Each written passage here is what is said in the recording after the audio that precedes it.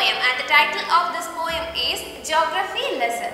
The poem is about the way Earth look from different attitudes and it is divided into three parts. When the jet takes off and start to climb up in the sky, you can have full height view of the city. The city grew as per its necessity and did not grow as per proper planning. It does not have any particular style.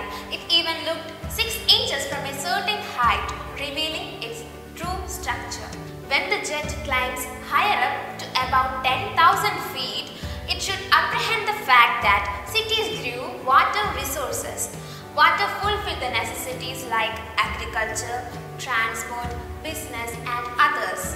He found that valleys were populated which met the necessities of the people.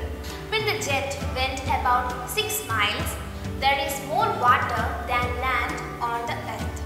While appreciating the geographical necessity of our planet, poet is unable to understand the tendency to build borders, to erect wall, to create fences. Then he reflected that people on earth are selfish and narrow-minded and they hate each other.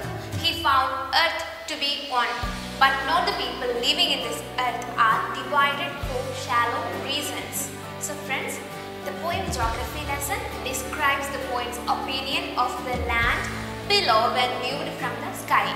He finds the earth the least attractive from above and continues going higher up. As the poet moves higher, he realizes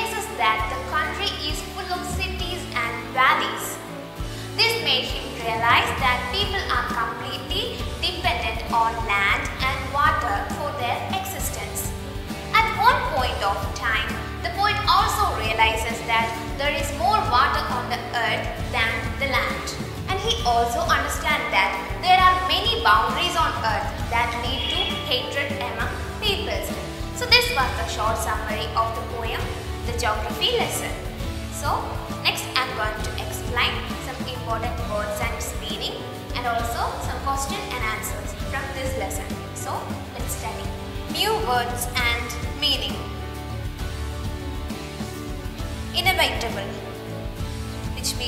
that cannot be avoided. An example is death is inevitable. Next word is haphazard, which means without plan or order. Example is I found your room in a haphazard way.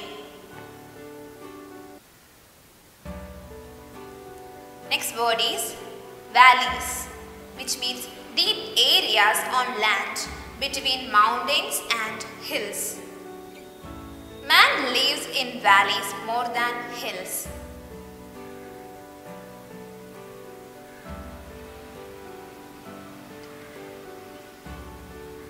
Next word is delineated, which means shown. States are delineated in a political map. Questions and answers. And the first question from this lesson is What is the logic of geography about the populated land? And the answer is The logic is that the land and water attracted man, so the country is populated.